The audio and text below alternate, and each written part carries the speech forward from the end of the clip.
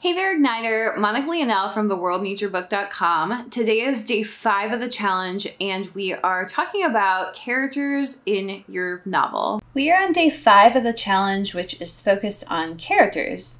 So, what we're going to do on this day is really put different characters into the groups we just created on day four. And so, if you don't have any groups, that's totally fine. You can just create characters that represent the main worldviews in your story, uh, which was from day three. So definitely check that out if you're if you're catching up on the content. Feel free to go back and look at that. So um, what can we say about this? Um, you'll have different groups in your story that are working toward common goals, uh, especially if you have a larger cast of characters. But within each group, there's going to be different shades of belief. Um, so the characters are not all going to think the same. Two characters can be presented with a um, the same problem, and they can have the same goal, but they can come at it with two different solutions based on their beliefs. So you want to give uh, give your characters some shading, basically. Um, and there are a number of ways you can do this. Uh, you know, there's also people who you know maybe start out good guy and then eventually switch sides to the bad team the bad guys or the antagonist team. Um, they're going to be people who are in the gray area that don't belong in any of these groups. So there are lots of uh, lots of different ways to create more characters in your story.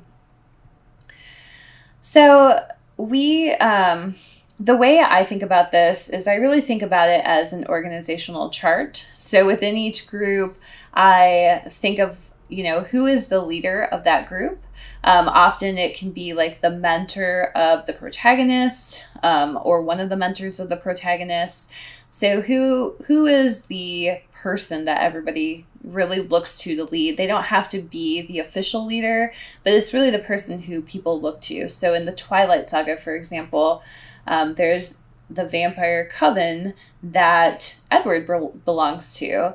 Um, and his coven has a leader, and it's Carlisle. Uh, Carlisle is the leader, he's the dad of the family, he's the um, patriarch of the family.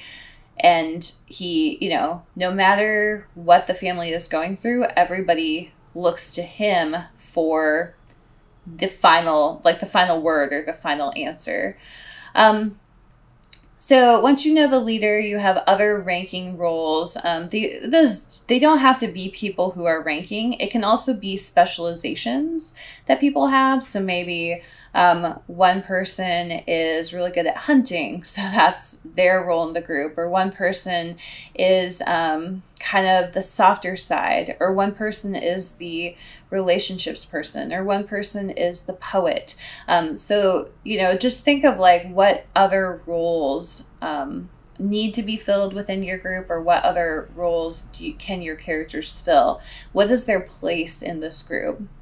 And there's also room for lesser roles. So however you want to think about that that can be side characters that can be um, characters who are just not all in uh, there's always there's always going to be those characters who or maybe a character who's there for the wrong reasons. Maybe they don't really believe in the cause. Maybe they're being like blackmailed into being there um, or they are there through intimidation. Like that's a, another common one. So be thinking about those power dynamics and how that works.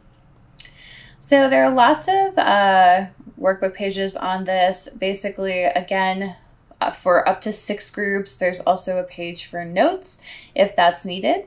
And, you know, for each of these people, for each of the characters, there's room for name, for their role and title, for their worldview, and then also for their relationships.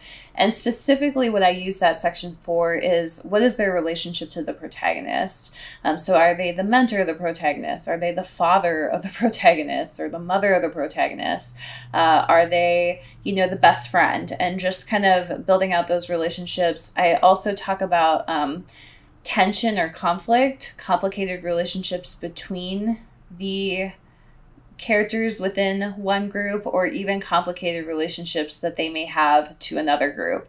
So you see this a lot in fiction where you know, somebody on the antagonistic side has a has or had a close relationship with somebody who is on the protagonist side. Um, and you see like how that causes additional conflict in the story.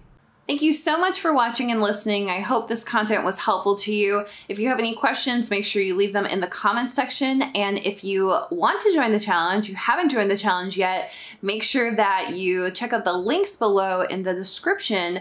Those links will take you to the sign up page. And once you sign up, there's lots of free and good stuff on the other side. So definitely check it out and see if it is of interest to you.